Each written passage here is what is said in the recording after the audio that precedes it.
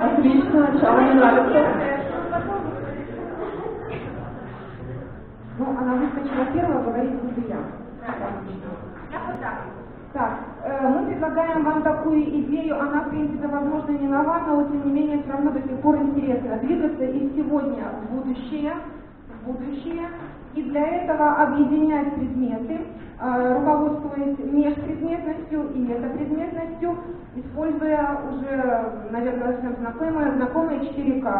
Э, Мы для этого, сегодня мы надеемся, что у нас получится собрать какие-то приемы, методы и задумать ресурс, потому что все это мы хотим объединить через IT и прийти к эффективному и эффектному уроку для формирования человека будущего.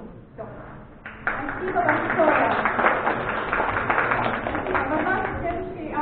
Следующая команда, следующий автор идеи. да.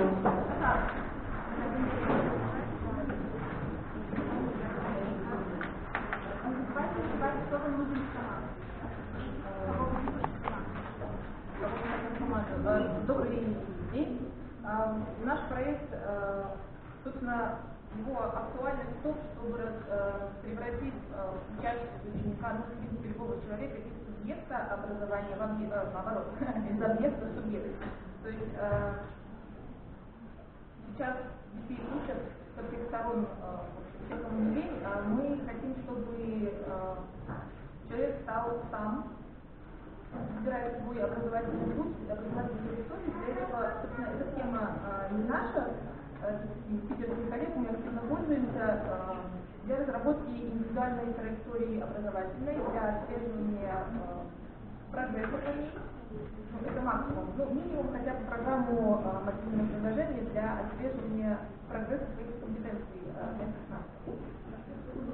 Э, программа- Спасибо.